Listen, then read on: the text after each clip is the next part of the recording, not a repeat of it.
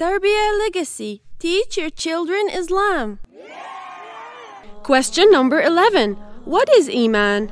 السؤال الحادي عشر. ما الإيمان؟ Answer. It means to believe by the heart, confess by the tongue, and act accordingly by the bodily organs. الإيمان هو الاعتقاد بالقلب والقول باللسان والعمل بالجوارح.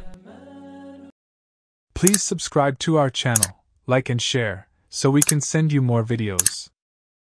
Tarbiya legacy. Teach your children Islam.